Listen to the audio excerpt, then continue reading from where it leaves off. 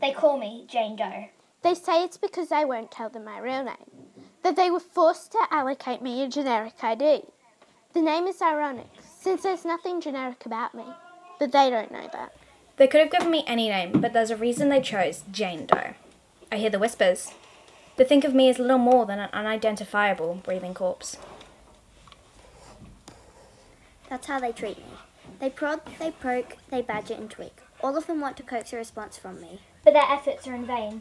Two years, six months, 14 days, 11 hours, and 16 minutes. That's how long I've been locked away from the world. Hello and welcome to the first episode of the Story Station, where we take the news and ask characters about their views while getting to know them. In this episode, we will be asking two characters from Lynette Noni's Whisper and its sequel Weapon about what they think of the vaccine.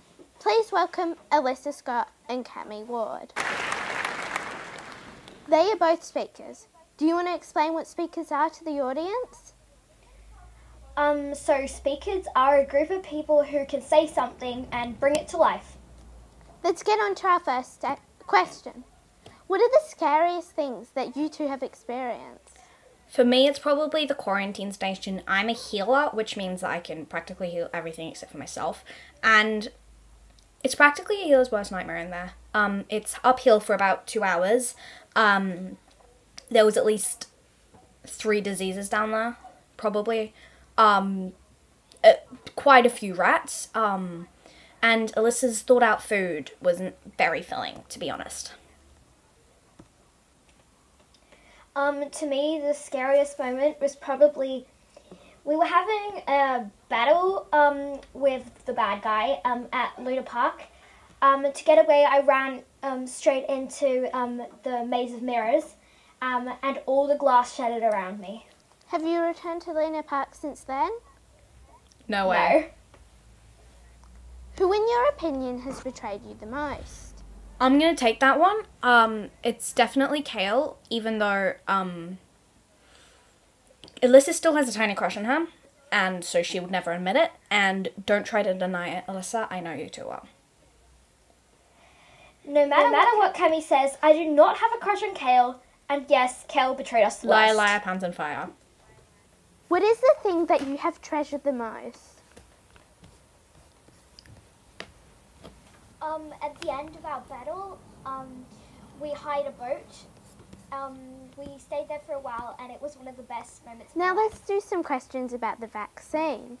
What do you think about the vaccine after what happened to you with Zanafin? Um, so for those who don't know, Zanafin is this injection that a group of people took a while ago so that they could have children. Um, but those children were not just normal children. They ended up having powers and were also our parents. Um, so yeah, the vaccines are still great, and they still do their job no matter which one you get. Um, and in the end, at the end of the day, whatever thing you get, if you have one, it's gonna make life so much easier for us. Um, so get it as soon as possible.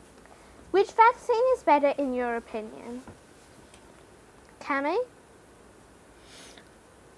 Um, they will do their job, and no matter which one you get, so get one right now. Save us. Have you guys gotten the vaccine and or will you?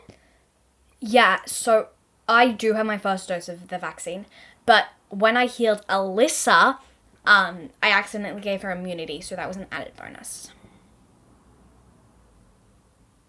What do you think about how the government is handling dis- the distribution of the vaccine? Or do you think there is more to be done? Well, it is true that at the beginning of our vaccine rollout there were a few problems, um, but we're trying as but they're trying as best they can now, and we're getting pretty close. But it's not just about the government; like everybody has to try to get it as best they can as well. Well, that's all we have time for today. Thank you for listening to the first episode of the Story Station. In this episode, we featured Lynette Noni's books, Whisper and its sequel, Weapon. Make sure you check it out. Thanks to our actors Beck Walker, who played Cami Ward, and Chloe Hannes Rojas, who played Alyssa Scott, and your host, Sarah Singh. Thanks also to our producer Mia Mallon, who made it all happen, even if very reluctant to. Next time we will talk to Letta, Marlo, and Finn from producers For- Forde's The List. Thanks again for listening.